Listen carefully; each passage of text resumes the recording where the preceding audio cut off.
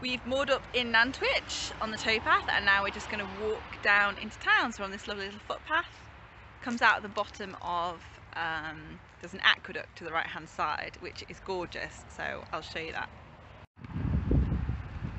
And there is Nantwich Aqueduct. Very cutesy. We'll go over there tomorrow and turn around. But for now we're going to head opposite way that way into town and it looks like school's just out so that'll be fun. Nantwich is this really cute market town. Um, the Romans settled here and it's been famous for its salt extraction, apparently. I read that in the Nicholson's Guide. Um, so we've come for lunch, we've come to a place called Enzo, which my mum's been to before, and they do pizza, calzone, pasta, all sorts of things. So we're to sit here, I've ordered pizza, I promised myself pizza, and I've ordered coffee as well because I'm so tired and I need coffee. So I'll, uh, hopefully that'll be really nice. Ooh, pizza, pizza, pizza, pizza. Very nice. We're having the same. So on our way back to the boat now. We went to Morrison's to get some water so we don't have to drink that horrible disgusting stuff that's on the boat. But we're both carrying big litre bottles in our rucksacks because they don't have a little trolley. And we found this little walk. So through the park, this is the Nantwich Riverside Loop. You can go along the river. So we basically come from the main road behind us and we're just going to follow across a bridge and then that kind of cuts off the main crossroads in Nantwich so it's just more pleasant than going along the main road but it's lovely, it's really nice.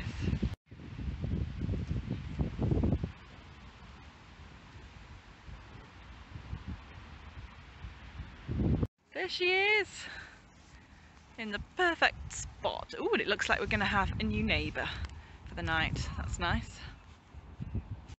Home sweet home.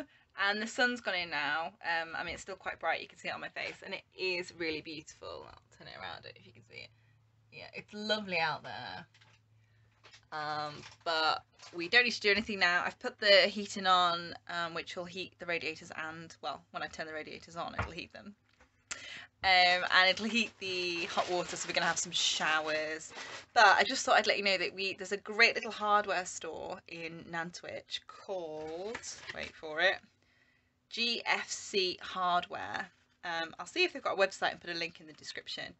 Um, but it's near the Morrisons if you've been to Nantwich. But it's really cool, and I got some fire stuff. So I got a I got a, a lighter because we don't we don't have one, um, which was two forty nine. Comes in a little little packet, and I also got this really cool light. So it's LED. I presume it's batteries but I didn't check because we're knackered but it's got a magnet and a hook and it's super super bright um so yeah and so we're thinking look it'll go on the fireplace which is really useful if the fire's not on um or on the splashback to the the heat protector on the fire there we go which is really cool um and the hook means it can like hang in the kitchen and stuff because there's a few hooks so really useful especially because uh, my batteries are not the greatest. So as soon as you put anything on in here, so we try and um, have it quite like dark in the evening and cozy because the, these lights are really stark anyway. So if I put this little light on and put it at the back of the fire flue, uh, we'll get a nice reflective glow. That's the hope anyway. But yeah, we're gonna we're gonna chill now. Put the TV on. Uh, well, we've got dishes to wash, but dishes, shower, TV, bed.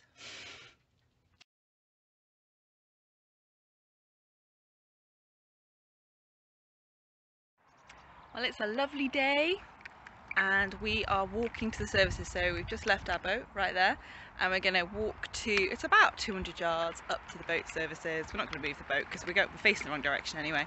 We're going to fill up one of our water containers and empty the toilet, hopefully. So we're just walking up there now and then we've got to move today. So this is only a one day mooring spot because it's very popular and we've got we've got somewhere to be anyway so we can't stay any longer lovely though it is so yeah we're on our way. And hopefully the services will be nice and empty. It's uh, it's not too busy. There's a couple of boats around which is quite nice. Um, but it's not you know super packed like it would be in summer. But we had a lovely peaceful night. It's such a lovely spot. I recommend if you you know if you come this way do stop and just take a moment. It's lovely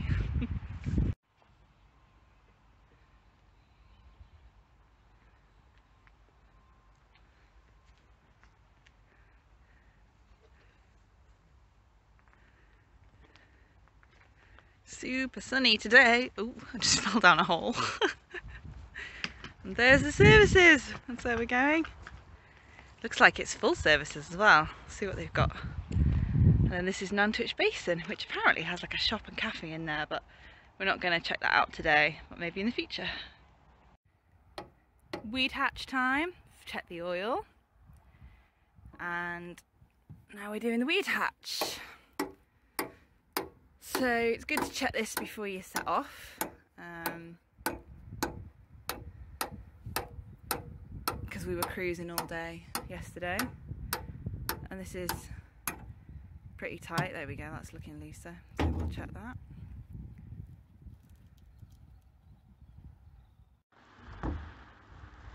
All clear. Epic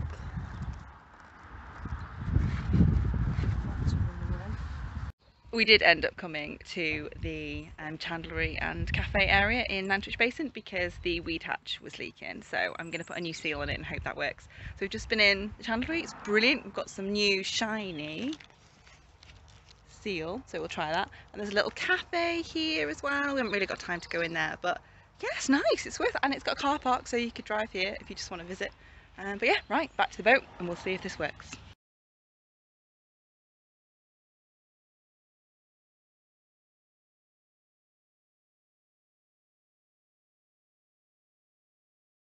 Here's the weed hatch and it's leaking out of this corner which is this corner here. And so what I'm going to do this doesn't look like it's in bad condition. Uh, it's still got a bit of spring but it's obviously yeah a bit rubbish. So we'll take this off clean it and then put the new one on. Joys of boating The mum's doing this for me while I re-prep the toilet and put the kettle on.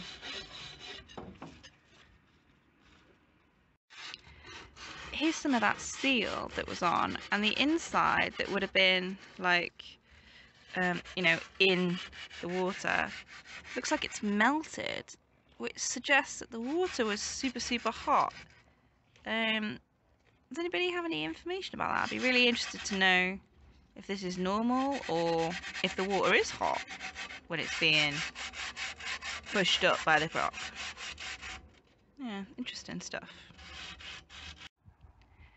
Right, new seals are on, so moment of truth. Turn the engine on, see if it leaks. And it doesn't leak. We've turned the prop both directions and we're good. We've gone for a bit of a walk, so we fixed the prop um, well the weed hatch and it's working. So we've still got an alternator problem though. It still looks like the alternator isn't charging properly because the, the alternator light keeps coming on. But we'll we'll worry about that when we get back to Ellesmere. At least the engine's starting fine so we'll see. So we've gone for a walk. We've gone to the aqueduct and there's a lovely sign here which I'll show you. And I'm sorry about the noise. Somebody's grass cutting down there. It's so noisy. But yeah I'll show you this and then we can have a look over the aqueduct Here's a bit about the aqueduct, Thomas Telford. There's a bit about the aqueduct in the Nicholson's Guide as well, and it talks about that the canal was supposed to go through the local sort of Lord of the Manors land, and they refused the canal, so they had to build this very expensive aqueduct and diversion. Amazing. So if you want to read any of this, hit pause. Very fascinating.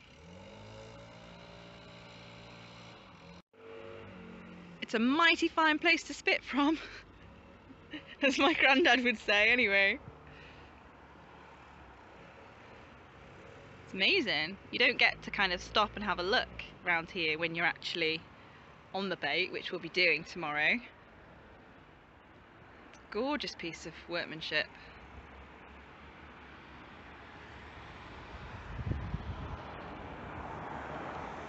Absolutely beautiful